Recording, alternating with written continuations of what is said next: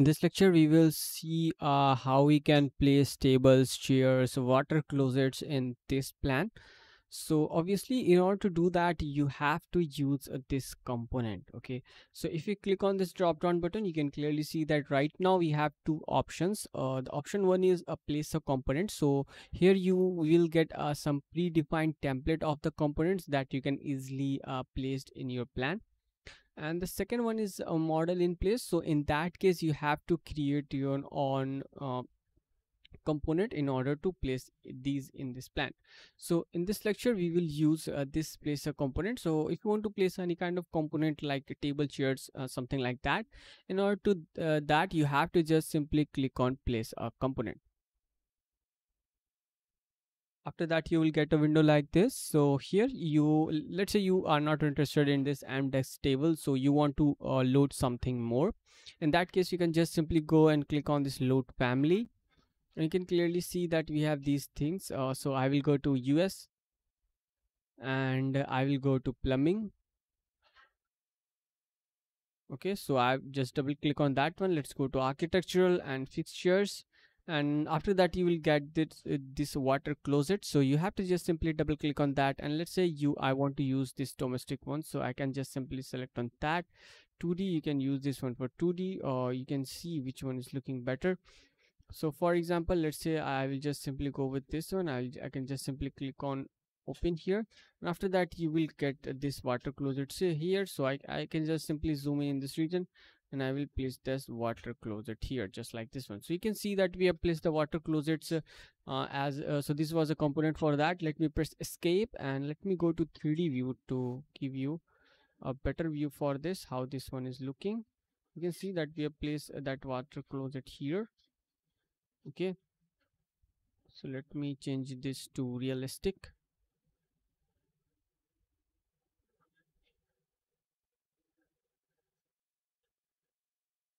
now you can see how this one is looking in the realistic view and if you look at this window obviously you can just simply select on that and you can just uh, simply drag this one on the upper side. Okay you can see the sill height is this one. From here you can actually control the sill height. So i can make this one 1.5 let's make this one 1.5 and you can see that we have successfully shifted this one on the upper side. You can see now this one is looking good and this one is attached to that region. Obviously you can uh, control uh, the dimension of this window as well if you like. So now uh, let's try to fit some other components. So for that obviously you have to go to level of one. You can do the same thing in the 3d view as well but i will suggest you to keep this thing in the plan view so that you can have a better understanding of that. From here you can see you can control the horizontal distance as well so now what i will do is i will again uh, go to components here. Okay let's go to architectural component. And then i will just simply go and click on load family this time. Simply go back and go back. So basically right now i'm interested in uh, furniture. So let's look for furnitures. There it is and here in the furnitures you can see that you have your table so you, can just simply click on that. And here you'll get a bunch of different options for the tables you can see. You can use any of this table.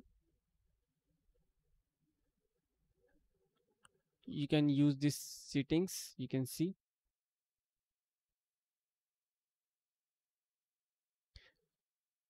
and you can also use the storages so let's say you want to use any kind of drawer or this storage you can see these things so you can obviously put these things in your uh, in this region as well so what i will do i'll just simply select on open and after that you can see uh, that i have imported this one i'm in entertainment center i can just rotate it with the help of a space bar and I can place it wherever I want. So let's say I want to place it in this region. I can just simply select on that. If I want to place this one on this region, I can simply place on that. And if I want to place the same thing in this region, I have to use space and then I have to again click on this, this one.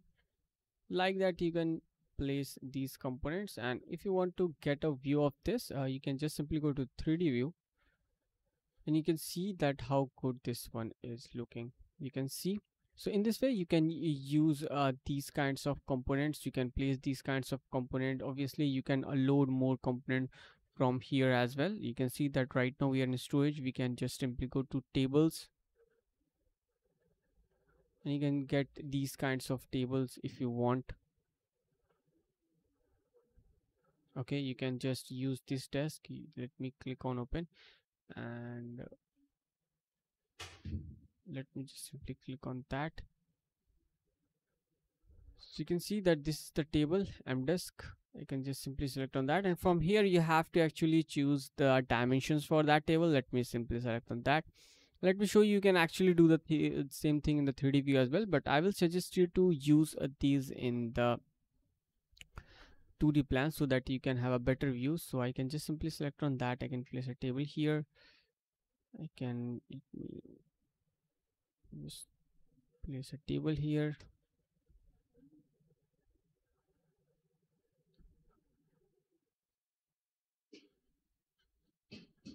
Okay you can see.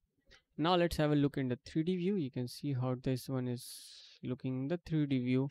And obviously you have to load the chair as well for the settings. So you can just simply go back. You can go to settings. And here you can see that what kind of chair you want. Uh, let's let me use this chair let me just simply select on open. Let's go to 3d view you can use uh, space bar to rotate it like this and I, I'm gonna place this one here. Okay just like this one if you want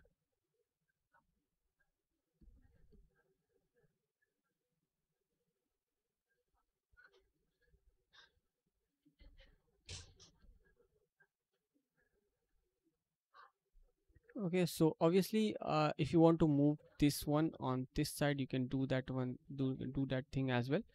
Now you can just simply select this one this component here and you can drag it here and now this one is looking much better. So like that you can place these kinds of things these kinds of arrangement you can do.